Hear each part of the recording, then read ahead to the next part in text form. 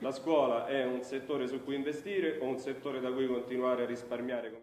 Di eh, contratti a tempo determinato della scuola, obbligo da parte delle amministrazioni scolastiche di assunzione a tempo indeterminato. Questo significa finanziamento e aumento diciamo, della qualità.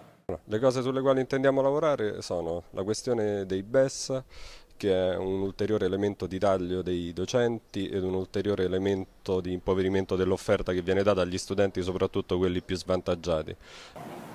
E adesso quei BES mettono la ciliegina sulla torta, col fatto che ci prendono anche in giro, perché alla fine sembra che siano i docenti che non vogliono poi migliorare la scuola, perché gli si dà l'opportunità la prosecuzione dei tagli agli organici che proseguono anche ovviamente attraverso la diminuzione dei pensionamenti.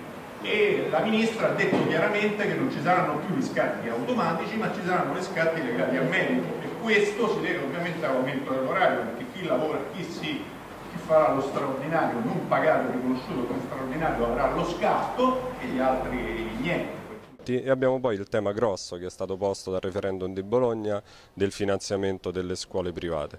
Mi riaggancio a Massa.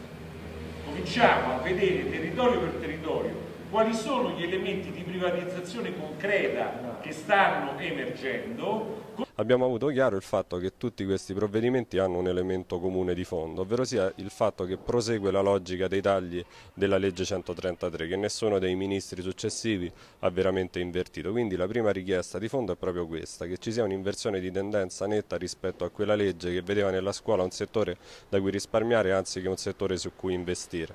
E noi chiediamo un investimento perché ci siano le assunzioni dei precari e perché tutti quei provvedimenti che ho descritto insieme agli altri che abbiamo descritto in questi anni siano ricacciati indietro.